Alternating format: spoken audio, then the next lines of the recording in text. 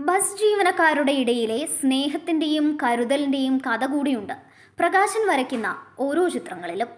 രണ്ട് വൃക്കകളും തകരാറിലായപ്പോൾ പഴയ ജീവനക്കാരനെ ജീവിതത്തിലേക്ക് കരകയറ്റാനുള്ള മാർഗമായിരുന്നു ഈ ചിത്രങ്ങൾ. സന്തോഷത്തോടെ ഇവർ വാങ്ങി നൽകുന്ന വരയ്ക്കാനുള്ള ചായങ്ങളും ബ്രഷുകളുമായി അയാൾ ബസ്സുകളിൽ നിന്ന് ബസ്സുകളിലേക്ക് കയറുമ്പോൾ സൗഹൃദങ്ങളുടെ വലയം തീർത്ത ജീവിതകഥ കൂടി പറയുന്നുണ്ട്. ആയിരത്തി തൊള്ളായിരത്തി എൺപത്തി നാല് മുതൽ കണ്ണൂരിലെ സ്വകാര്യ ബസ്സിൽ ജീവനക്കാരനായിരുന്ന മുതുവടത്ത് വളപ്പിൽ പ്രകാശൻ ഇന്ന് കാണുന്ന മുഴുവൻ സമയ ചിത്രകാരനായിട്ട് ഏഴു വർഷം മാത്രമേ ആയിട്ടുള്ളൂ. രണ്ടായിരത്തി പതിനാലിൽ വൃക്ക തകരാറിലായി ജീവിതം മറ്റൊരു ദിശയിലേക്ക് മാറിയതോടെ ദീർഘനാൾ കിടപ്പിലായി. മാസങ്ങളോളം മംഗലാപുരത്തും മറ്റും ചികിത്സ തുടർന്ന് ഒടുവിൽ മൂന്ന് നേരം ഡയാലിസിസ് ചെയ്യേണ്ടുന്ന വൃക്ക രോഗിയായി പൊടുന്നനെ പ്രകാശനും മാറി. ഇതോടെ ബസ്സിലെ ജോലി അവസാനിപ്പിക്കേണ്ടി വന്നു. വീട്ടിൽ കിടപ്പിലും ഡയാലിസിസ് കേന്ദ്രത്തിലേക്കുമുള്ള ഓട്ടത്തിനിടയിലാണ് എന്നോ ആർജിച്ചെടുത്ത ചിത്രകല പ്രകാശിന് അനുഗ്രഹമാകുന്നത്. നേരത്തെ ബസ്സിൽ ക്ലീനർ ആയിരുന്നപ്പോഴും ഗ്ലാസുകളിൽ പ്രകാശൻ ചിത്രങ്ങൾ വരയ്ക്കാറുണ്ടായിരുന്നു. ഇതറിഞ്ഞ് ദീർഘകാലത്തെ പരിചയമുള്ള ബസ് ജീവനക്കാർ തങ്ങളുടെ ബസ്സുകളിൽ ചിത്രം വരയ്ക്കാൻ പ്രകാശനെ വിളിക്കുകയായിരുന്നു. നിത്യവരുമാനത്തിനപ്പുറം മറ്റൊരാനന്ദം ഇതിലൂടെ പ്രകാശന് ലഭിച്ചു തുടങ്ങി.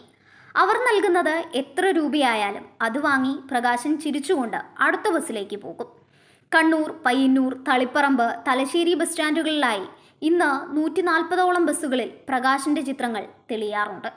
സ്നേഹത്തോട് ചേർത്ത് നിർത്തുന്ന ജീവനക്കാർക്കൊപ്പം പ്രകാശനും. നിമിഷ നേരത്തെ വരകൾ ആഴ്ചയിൽ മൂന്ന് തവണ ഡയാലിസിസ് കഴിഞ്ഞ് മറ്റു ദിവസങ്ങളിൽ ചിത്രങ്ങൾ വരയ്ക്കാൻ ബസ് സ്റ്റാൻഡുകളിൽ പ്രകാശനെത്തും ബസ്സുകൾക്ക് മുന്നിലെ ചില്ലു ഗ്ലാസിൽ വ്യത്യസ്ത നിറങ്ങളിൽ പലവിധ ചിത്രങ്ങൾ വരച്ച് ജീവിക്കുന്ന മുതുവടത്ത് വളപ്പിൽ പ്രകാശന് ജീവിതത്തിലെ ആനന്ദം ലഭിക്കുന്നത് ഈ വരയിലൂടെയാണ്. പ്രധാന ബസ് സ്റ്റാൻഡുകളിലെല്ലാം തന്റെ ചെറിയ കൈബാഗിൽ നിറക്കൂട്ടുകളുമായി എത്തുകയും ഞൊടിയിടയിൽ മുന്നിലെ ഗ്ലാസിൽ ചിത്രങ്ങൾ വരച്ച് പുറത്തിറങ്ങുകയും ചെയ്യും.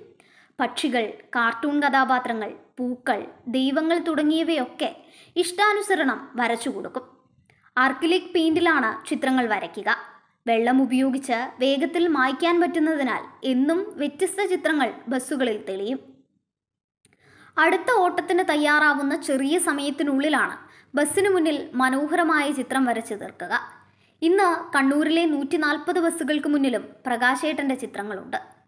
ഇരുപത്തിനാല് വർഷം കണ്ണൂർ കോഴിക്കോട് റൂട്ടിലോടുന്ന ബസ്സിൽ ക്ലീനറായിരുന്ന പ്രകാശിന് ഇന്നും കയറി കിടക്കാൻ സ്വന്തമായി വീടില്ല. ഉമ്മൻചാണ്ടി സർക്കാരിന്റെ കാലത്ത് അനുവദിച്ചതാണെങ്കിലും ഇന്നും ചുവപ്പ് നാടയിൽ കുടുങ്ങിക്കിടക്കുകയാണ് ഈ സ്വപ്നം. വൃക്കകൾ തകരാറിലായി കിടപ്പിലായിട്ടും അധികൃതർ വേണ്ട വിധത്തിൽ സഹായിച്ചിട്ടില്ല. ചപ്പാരപ്പടവ് പഞ്ചായത്തിൽ ഉൾപ്പെടുന്ന പ്രദേശത്താണ് അപേക്ഷ നൽകിയത്. ഇപ്പോഴും പട്ടികയിൽ ഒന്നാമതായിട്ടുണ്ടെങ്കിലും ഫണ്ട് അനുവദിക്കാൻ കാലതാമസം എടുക്കുകയാണെന്ന് പ്രകാശൻ പറയുന്നു. എന്റെ പേര് പ്രകാശൻ. ഞാൻ ആലക്കോട് ഒറ്റത്തൈയിലാണ് ഇപ്പോൾ താമസിക്കുന്നത്. ഇരുപത്തിനാല് വർഷം ബസ് പണിയെടുത്തു. രണ്ട് കിഡ്നി ഏഴ് വർഷം മുന്നേ പ്രവർത്തനരഹിതമായതുകൊണ്ട് ഇപ്പം ആഴ്ചക്ക് മൂന്ന് ദിവസം ഡയാലിസ് ചെയ്യുന്നു. ഇപ്പം എല്ലാ ബസ്സിനും പല പല ചിത്രങ്ങളും ഇങ്ങനെ വരച്ചു കൊടുത്തിട്ടാണ് മുന്നോട്ട് പോകുന്നത്.